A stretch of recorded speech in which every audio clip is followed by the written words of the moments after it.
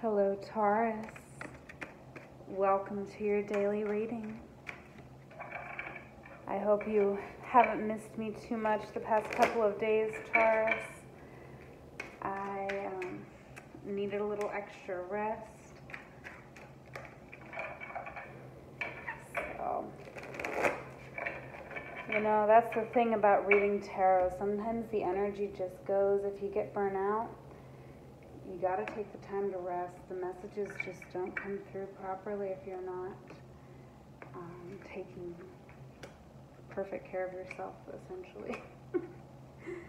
okay, so, oh, look at you, Taurus. You got 10th house, the world on the bottom of your deck. So I feel like you are moving into a very mature space, a space where you're really reaping the benefits for the things that we worked for, Taurus. Mm, love it. Now keep in mind this may not resonate for every Taurus out there. It is a general reading. All right, but oh, for the Taurus that this does re- um, resonate for, we also have the Emperor. Okay, so we are really making steady, strong progress here. All right, let's get into our current situation. All right, North Node, life's purpose. Okay, and look at that, your card, the messenger. Okay, this is the Hierophant in some other decks. And this is very beautiful, Taurus. This is you really stepping into your divine purpose on this planet. Okay, if you are a Taurus who this is resonating for, then here with the messenger, yes, you are able here, Taurus, to not just exist in the physical realm, but you are also able to exist in the astral realm and you are also able to exist in you know this other realm of sort of being a voice for the people right? With the messenger. We really have something to say here. We really want to create change on a big scale okay? And we're clarifying it with the teacher.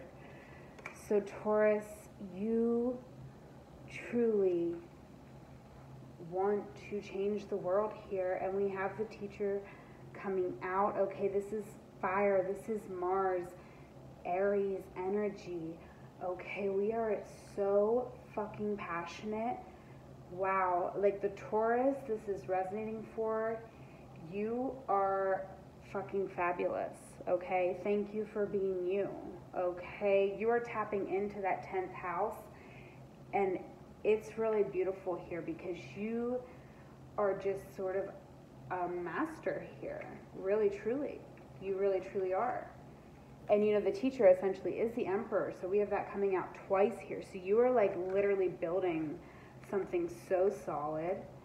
Now, our guidance that we may be overlooking here from spirit is Saturn Okay, truth.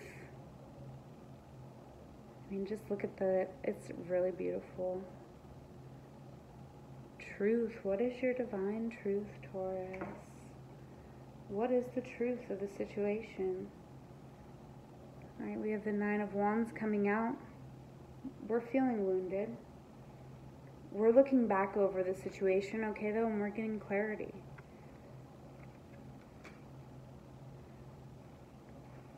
So I do feel like there was a situation here, right? We're not, we may not be feeling as confident as as we should be feeling, honestly. Okay, because what we want to do here is what we're meant to do.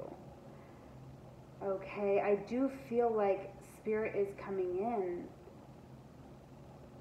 and and saying reevaluate here with the Nine of Wands so that you can get clarity, so that we can have a new beginning, right? Because, I mean, you have something big. This is a general reading, but I feel like this is this is a very, very big life changing. Okay, these three cards here with the current situation, you are extremely dynamic, Taurus. You truly are. Whoa, okay. Now, assuming that we take this advice from Spirit, which is to really be honest, to be honest with ourselves about how we feel, honest with ourselves about why it is that we are struggling here to move forward, why we are feeling any apprehension whatsoever. Okay? And that way we can kind of get clarity. Of course, nobody's ever like, uh, you know, I mean, of course, I don't know. I don't want to say nobody's ever. But of course, a lot of times we're not 100% sure of ourselves but I do feel here like you are getting more clarity to be more sure of yourself, okay? Now, assuming that we take Spirit's advice here, the result of this cycle is ninth house, which is faith. Clarified with the Two of Swords. Along with the Nine of Swords. Okay? So, you know, when we do the Ace of Cups on the bottom of the deck, okay? So this is you really taking that, taking the time to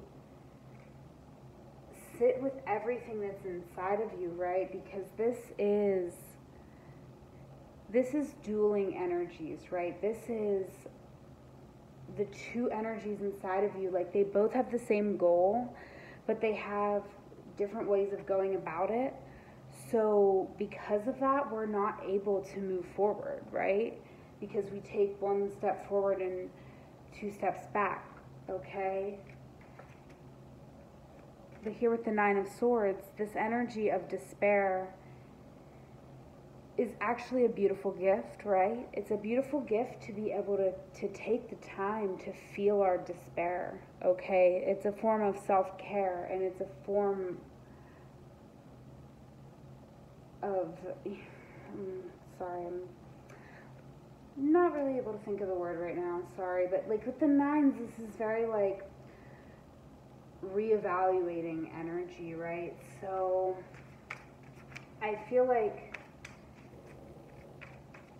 you know, even though it does seem a little dim here with the Nine of Swords, it's actually a really beautiful energy because we're approaching the pain of whatever this situation is here. This time we're approaching approaching it with faith, okay? And you know, we we have faith that we're healing ourselves. We have faith in ourselves. We have faith in what we're doing, and we know that we need to feel this pain to heal this pain. All right. Now, we have some additional messages for you, Taurus, from the Rebel deck. We have shame, regret, and guilt. Those are just bullshit. Forgive. Let that shit go. Okay, Taurus, I do I do feel like there is, you know, with the 9 of swords and with the 9 of wands, you know, there is something very liberating with both of these energies because we're going back, we're reevaluating a situation, and yes, it's bringing up feelings for us, but we're also being able to realize things like that, like the, that the shame and the regret and the guilt that we are feeling for these things is fucking bullshit. and we can let go and forgive for ourselves, okay? And then also, Taurus, get some fucking sleep. You're being, you are being an ass because you are fucking tired. Face to pillow now. Okay, Taurus, there you have it. I better end it so you can go to bed. Okay? I love you so much, Taurus. Thank you for stepping into your power and really showing up here as your true, authentic self and, you know, changing the world. You're doing it. This work, this time that you take for yourself, if you take the time to cry and to heal, healing takes time, Taurus. That's what I want to leave you with. Healing, it takes time. You know that. You're very grounded. You know that that what you invest in, you get back, okay? So invest in your healing and know that it's worthwhile. And I love you so much. Take care.